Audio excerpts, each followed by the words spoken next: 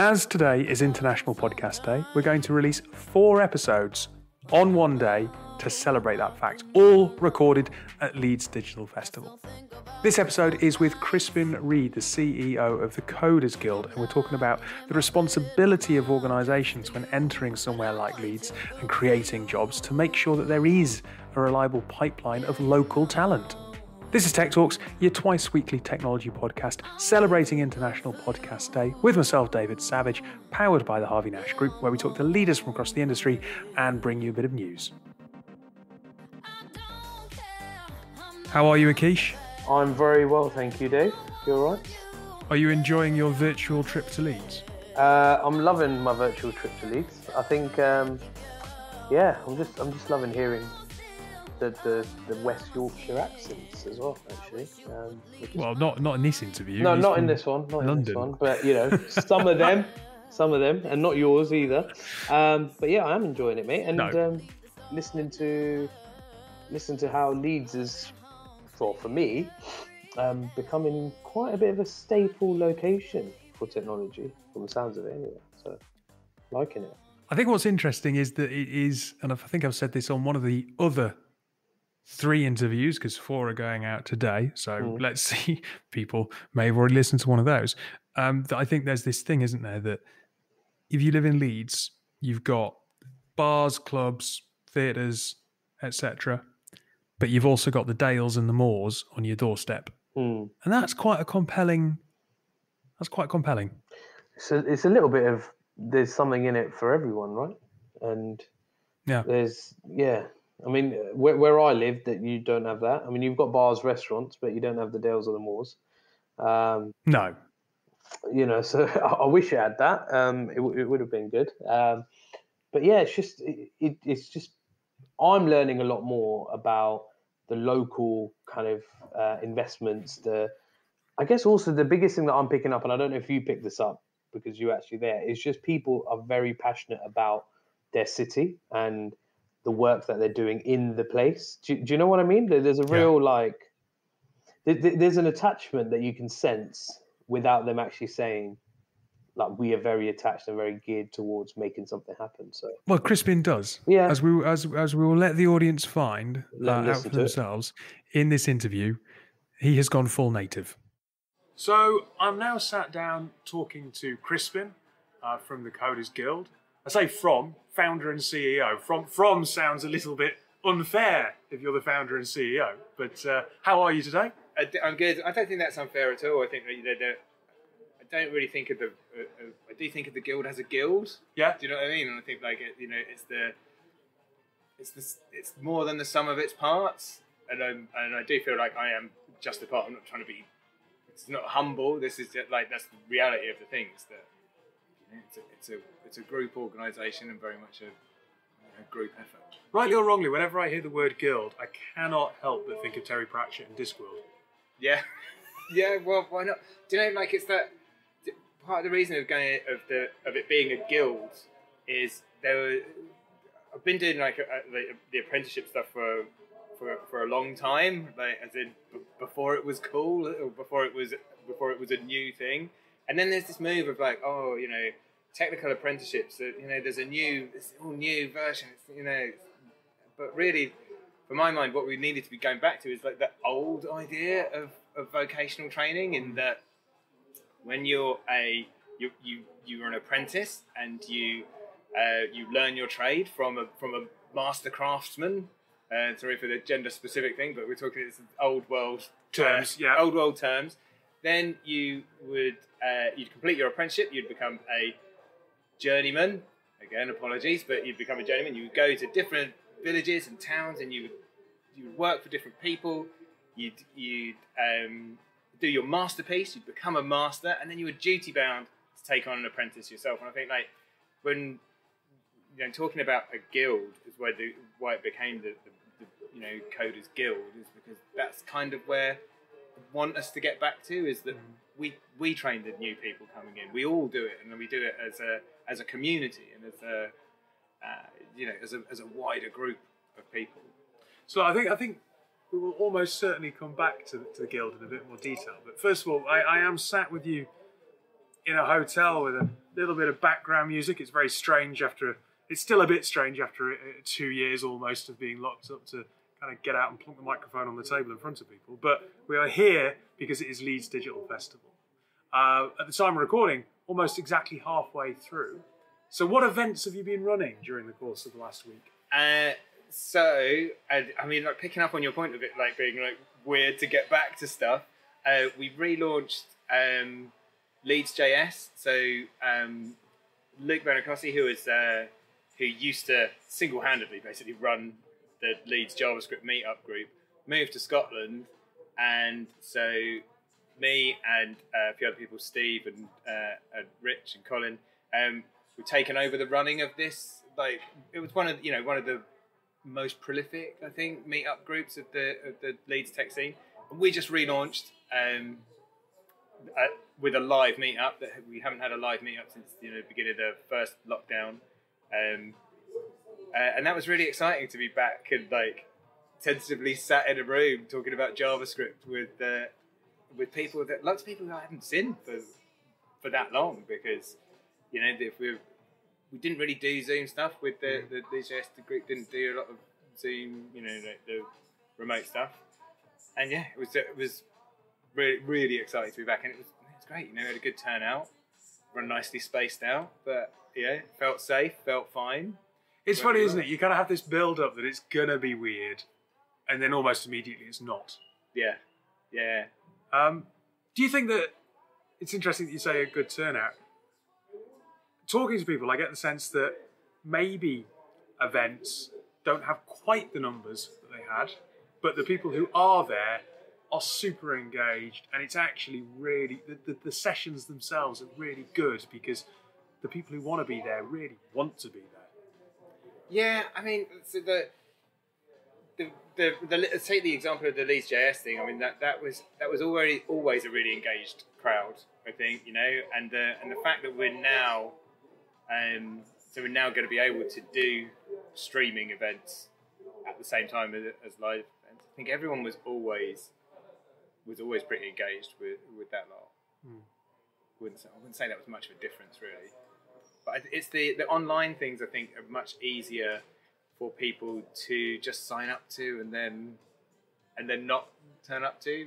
If we were running like a live event um, previously, we, we'd expect a thirty percent drop, but with uh, with an online event, especially a free one, you'd, you'd 40% is good. I think, yeah, 40 50 percent is kind of normal. I think for for, some, for the, the actual numbers that turn up.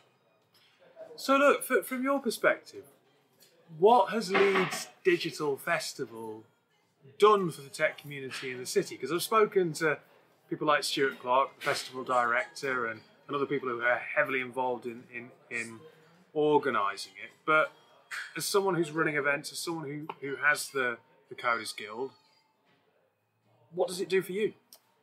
Um, I like, it gives it it gives an awareness to the to the stuff that's going on in Leeds that, for people who wouldn't know, Mhm. because like so most of the the sorts of things that go on at Leeds Digital Festival, um, certainly from, from from like the perspective of the doers, the people who work in these communities and are part of these you know communities, um, they happen all the time. You know, like they're every every month. You know, there's so many regular tech meetups. In fact, that was that was one of the reasons that I came to Leeds was because there was there was such a good um, a good bunch of communities that were putting on regular tech events. So what what the festival does, I think, is is like highlight that and enc- also encourage people who wouldn't normally do events to have a bash and like try and do something, try and try and put something on. And generally, you know, we'll get the. Um, I, d- I don't think it's happened so much this year, but um, certainly in previous years, we would have had like some sort of event special from from some of the tech meetup groups. So, look, two of the people that I've interviewed so far, whilst I've been up here, are proud Yorkshiremen. Yeah. And so when you kind of ask them, hey, look, why Leeds? I can't help but think, well, you've got a season ticket to Leeds United. You're not, you're not going to be holding back here. But You are not. You're an adopted Yorkshireman. You're from. You're That's from right. But, the but. I, do, I do feel like I have gone full native. You know I, like I, I am well Yorkshire now. I'm like, oh, that London. and, uh, and, uh, you know, I haven't quite cut the apron to do go down to London uh, quite a lot, but um, yeah, I do. I do really, really love it here. We had. Um, I chose Leeds. Actually, me and my wife chose Leeds. We moved up from London six, seven years ago now yeah. and we actually we used to do um, like little mini breaks for the for a weekend, and we and we went all over just looking for where we would move to out of London. Where would where would be a good place? Like Bristol, Oxford, uh, Brighton, Sheffield. Was there any particular reason for wanting to get away from London? Uh, well, if, to, to be completely honest with you, that was like I'm from London. I thought I'd die there. Do you know what I mean? Right. But um, my wife, she had a different opinion. Uh, so my wife's from the north. She's from uh, she's from the Lake District. So she was very adamant that we weren't staying in London after we got married, and uh, uh, and she wanted to leave more than I wanted to stay. I think it's the Fair enough. it's the that's a short version. So you did a Uh, tour of the country. Yeah, and and really, like Leeds was such a good, like a good fit for for both of us. There were so many, all the things we were, um, as we were going round to places and things like this is a plus and this is and this isn't, and we could kind of figure out what the things that we wanted to. So we wanted to be like close to um, outdoor space. So we wanted to be like near somewhere that is you know nice to walk in and be in uh, in nature. So we've got you know you've got the Dales and the North York Moors and you've got the coast. Yeah. Um, that are all really accessible from Leeds. We've also got like really good like easy access in. So we so we live out um, Ilkley Way. So Nice. Yeah, yeah.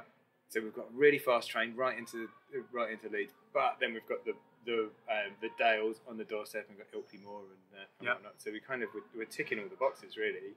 And for me, I was I was I was Ali wanted to she does she works in um, public health and uh, and nutrition, so she wanted to be close to a university that was focused on that, and uh, Leeds got good uh, nutrition and uh, and uh, elements of public health in their school, and and also there's an airport. But for me, it was the, it was the tech scene. You know, like I I'd been up to Leeds for a couple of conferences, and one of the things I really liked was the was the was the roots level of it. Like at the time in, in my career, the, the sort of conferences that I was going to in London, there were there were you know there's a few meetups at London Web Standards. It's really good. It's, a, like a it's like a roots thing. But when I come to Leeds, you know, you the um, at the at the time WordPress was was kind of was was a big thing, and the and the Leeds WordPress group was was massive, and were and you know the regular meetups all run by themselves. It's a community run thing, and there were so many other things as well. So we you know other you know things about you know JavaScript, which time was kind of an emerging uh, like an emerging the emerging dominance. I would say it's not like it was an emerging as a uh, as a particular tech. Um, and yeah, and, and I think that and that's been really, um, really good since I moved here. You know, 'cause I did move here to didn't know a soul, but it was but it was really easy to find like-minded people and uh, and you know build a network and meet people who were interested in doing stuff rather than just being at work. So let's let's switch back to the guild for a second. I don't want to make the assumption that apprentices means young people, but in terms of the demographic of, of, of the guild itself, what are we looking at in terms of age demographics? Uh, I mean, um, so just looking at the apprenticeships, which go, so apprenticeships is like it's kind of like it's it's fundamental to what we're trying to achieve, but um, we actually work like in a much wider spectrum, and like Yeah. it, you know, from uh, we did some boot camps with the DFE as a pilot thing earlier this year as a way to get people um, ready to start apprenticeships, which is which is actually a thing that we've been doing uh, for free for, for a long time, but now we've, we- we've got funding to do it, so we could do a, a better job of it. And, um, and and then also even like before that, like having people, especially from underrepresented groups, which is you know another part of the um, of the social mission, is to is to validate them and give them um, a route into the career and, and like dismantle barriers and stuff. Then on the other side of the apprenticeships, we've got like the CPD of, of moving the whole, um, progressing the whole workforce. Because if we, you know, if no apprenticeships is kind of the key thing that, that I really want to take hold. But in order to do that, we've got we've got all that work beforehand to make that bit work, and then all the work after it as well. We want to be, you know, people come out of an apprenticeship, and I want to kind of install in them that that that you're going to get better and better, and then you're going to take apprentices on, and it's and it's great when we see um, previous apprentices who are now mentoring new, you know, new grads coming through. Um, so I've strayed from the question. No, not at all. in terms of the demographic, um, as tend actually to be, you think it, yeah, I think less so now, but certainly um, in the last few years, you, you know, there's been a, there's been the assumption that apprentices are young, didn't go to college. Um, you know, it's like the like a YTS replacement sort of thing, and and that's really not true, especially for us. Lots of the people who come into apprenticeships are people who have um, chosen not to go to uni and chosen a, a, a, vocational path, or there are people who a lot a lot of career changes as well. So we get people who have started a career in um, I don't know in, in, in law or, um, or, or you know any other field, and then they've decided to switch to coding, and then come and do an apprenticeship as a as a route in. So there's there's been a huge amount of job creation in Leeds in the technology market over the last few years, and that's prior to, to the pandemic. So, in terms of Sky Bet, um, the Channel 4 announcement was before the pandemic, wasn't it? I think. Yeah, so yeah, just before, I think. Yeah. yeah. Um, so there's been some real kind of success stories in the region prior to that happening. And I suppose that would have given people confidence to switch careers or to, to say, no, I can, I can enter this because there's, there's opportunities and hopefully tapping into those underrepresented groups as well. How has the how has the pandemic changed the dynamic? Because is it is it that those um, companies are now thinking, well, it's not so critical that the talent's on our doorstep, or are the talent locally going, it's not so critical that I work for these companies in Leeds because I could work in Manchester if I only need to be there a day or two a week.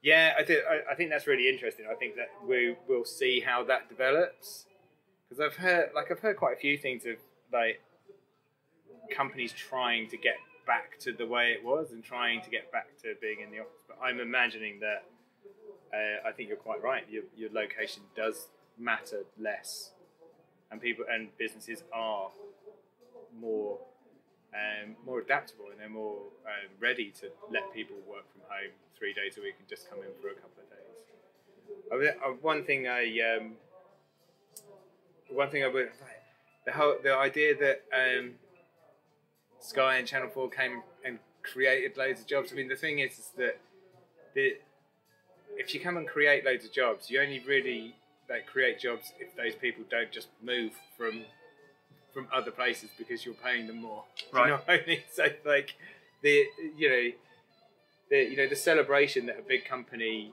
comes to Leeds, big tech company comes to Leeds, and that's a job creation. They're not bringing those people with them. You know, they're not like attracting those people from the wider area to come and then live in Leeds and they're, they're no, but I suppose indirectly there may then be more of an appetite for investment in the area, more startups, yeah. more. Yeah, yeah, yeah. yeah I, completely, I completely support that. But I think it's like a it's a longer term thing though, isn't it? Mm. And I would say that you know there's um, there's maybe uh, just, oh, it's just popped in my head, so here it comes straight out of my mouth. I think that you know the there ought to there probably should be more of a responsibility for if you are a big company coming to um, and you need 200 developers and you come to somewhere the size of Leeds, you realise what that what that impact is going to be, and there should, maybe there should be more thought about what goes into um, work in cultivating that talent pipeline. And I think like one of the things that, that the I don't know, maybe Leeds specific, but but definitely the the businesses that we talk to and the employers that are in Yorkshire tend to be much more keen on securing that local talent pipeline, much more receptive to the idea of that's the thing that we're doing with the apprenticeships is like there's an enormous amount of people. If you look at like the you know the um, the, the amount of people who could commute into Leeds and who could be a developer, a tester, a data analyst, but maybe are excluded from that career because they didn't do science A levels, or you know, in their mind they're excluded from that career because they Yeah. didn't do computer science and they don't do this. But if they're problem solvers and they um, they understand patterns, uh, or or they're curious and they like breaking stuff, you know, the the the, the actual indicators of how good someone's going to be as a developer, a tester, as an analyst, that like they're, they're kind of different to the things that that that we are we're marked on in school. Like the whole education system is kind of um, really focused on what can be marked rather than than than what's useful about a person or what's what's what their skills and aptitudes are. It's when I was having a conversation with a company only a few weeks ago who talked about the fact that the CV's been around since the 1600s and therefore kind of primes us to measure proxies of talent Yeah. which actually aren't particularly helpful. We, we, we basically have a no CV rule. We will, we will let we will let employers ask for CVs after they have rounded down their candidates to to a few. Then was a, a, if they're desperate for it, but we try and encourage them against it because what's the point? Like, What what what does that piece of paper give you? Right? So look, it kind of neatly brings us to one more question that I Mm-hmm. wanted to ask, which I think is quite, I think it's quite relevant, um, especially now, post-pandemic, and people beginning to reconnect and, and, and stuff. Well, not post-pandemic. That's the wrong phrase entirely, but post post-lockdown. Um, how do you go and find the communities that you're talking about? You know, it's absolutely brilliant that it's it's more of a let's have a look at people's potential, but it's still it's one thing saying that. It's another thing reaching them and making sure that they hear that message and that you get them to be yeah, part of your programs. Yeah, absolutely. And you're, uh, you know, I think that's a that's a big deal in that it's really easy for someone to, you know, for a company to have an initiative to to be more diverse in their recruitment, but it's it's a it's a big job, and it isn't just you know, it's not about positive discrimination. It's a it's a much longer more difficult piece of work. Inclusion is, you know, it, it's really, it's a very complex thing and it's multi-layered and it needs commitment and, uh, and and we need to do a lot. And a lot of it is, um, I think what we've found is all the we've tried loads and loads of different things over the years, but it's um, it's referral and personal outreach is gets the best results. And you know, yeah, you can um, you can weight job adverts in favour of particular demographic groups, and that's one thing that, that we've done with, with our adverts is that you know based on the um, statistics that we have around the the particular groups that are in a geographical area, we can basically work out to even the field. This is how much we should spend on ads for women versus men, or for you know different age groups and uh, and all sorts of demographics. You know, we can we can work out how to basically make that level, but that's kind of that's only like a, that's a small part of it. Yeah. There, there's so much more around, you know, the the longer term work that we all need to do. You know, from as you know, as I was saying before, it's like it starts way, way, way earlier than than you would think. You know, right when the children are really young, about Mm. like validating people's path into uh, into these sorts of careers. And again, at the other side, it's about you know, it's about constructing um, the right sort of environments for people to thrive in. And incidentally, I think that's the thing that the you know the pandemic has forced us into um, particularly well. The, the, the way of being productive and able to be a parent, and like Yeah. uh, and like you know, kids on Zoom calls, you know, that's normal now. And um, but to be like to be honest, most of um, most of the staff at the Coders Guild are actually parents as well. So like kids on Zoom calls has been like normal for us for the you know even before the apocalypse. But um, yeah, the pushing people into that uh, you know more into that acceptable uh, the idea of oh we had to do this because the whole country was put into this situation whereby we've got to make this work so this is what we'll do. And yes okay you you work from home and yeah i understand that you're not going to be you're not available for that meeting at half past three because you've got to do the school run today. And that that, that forced acceptance i think is really really positive in that we're able to thrive and able to create conditions and and hopefully because everybody has been forced to be put into that position themselves it gives them empathy and hopefully it will give them the opportunity to be more reflective about what else they could do to make the working environment more appealing, more um, more supportive, or just more um, more flexible, better for, for other people to thrive in. So I'm thinking uh, immediately about neurodiverse individuals Yeah. and how uh, and how people can make work the workplace a better place for them.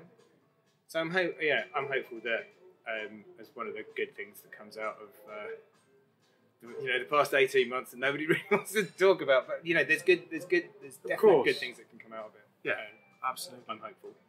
Look, Crispin, thank you very much for your time. It's it's uh, a pleasure. I know it's busy, but it's also Friday afternoon, which is possibly not a time to have a microphone plonked in front of you. Uh, so I appreciate your time, and fingers crossed the second week of, of the of the festival goes well. Brilliant. Oh, can I can I plug some of our events? Yeah, absolutely. um, we uh, it, we had a, an event for um, being more environmentally conscious as uh, as a tech user and as a tech business. Yeah. Um, that's been and gone, but we do have the, the video and the and the resources for that. So, Where or where's the website? uh, so if you if you go to thecodersguild.org.uk, you can find that find this out. Um, we've got an event um, that by the time the podcast comes out, It's on actually Thursday, so it might, it might be on the website as gone. well. Uh, yeah, yeah. Um, but one that will still be going on. We're running a hack for um, to improve LGBTQ plus inclusion in Leeds. So, uh, and the closing date to enter is the date that this podcast goes out. So you still do have a chance to enter. It's It'll go out at five o'clock in the morning five o'clock in the morning on Yeah, the yeah. thirtieth. on the thirtieth. Oh right, let's say you got say if you if you're listening to this at five a.m. then you got uh, you've got twelve hours There we before go. the competition closes. So we're accepting entries. Um, we're calling it a hack because it's kind of we're running it on the same principles as a as a hackathon would be for if we were you know smashing out some code over a, few days. But actually, it's for um, any creative, any uh, organizer, visionary, any any doers at all, anything you can think of that um, that could make Leeds more inclusive for our LGBTQ plus communities. I'll have to make sure that our socials talk about that Monday, Tuesday, Wednesday at least. Brilliant, thanks. Oh, that has a different address. That's lgbtqhack.com. Email that to me and I'll make sure that's in socials. Okay, brilliant. Thanks. Thank you very much for your time. I think it's a really interesting comment that education needs to focus um, on what's useful and not just what can be marked. I think that's a Mm. fair accusation, right? Yeah, I think so.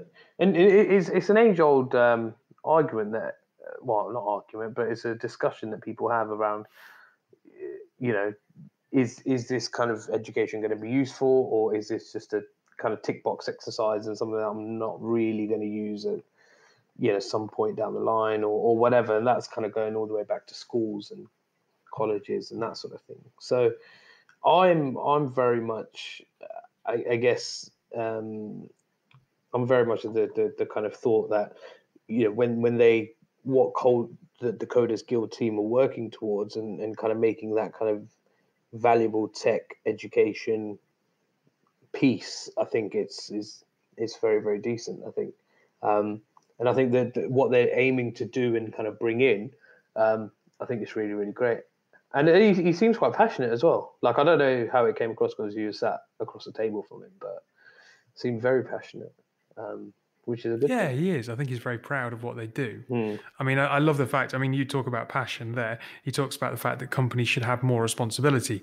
Um, you know, the, the impacts that they have in coming to Leeds. You know, more work to cultivate talent pipelines locally. and that Mhm. really you did get a sense that that was something that it's not just a company line; it's something that he deeply cares about. Hmm. And, and and they're going far.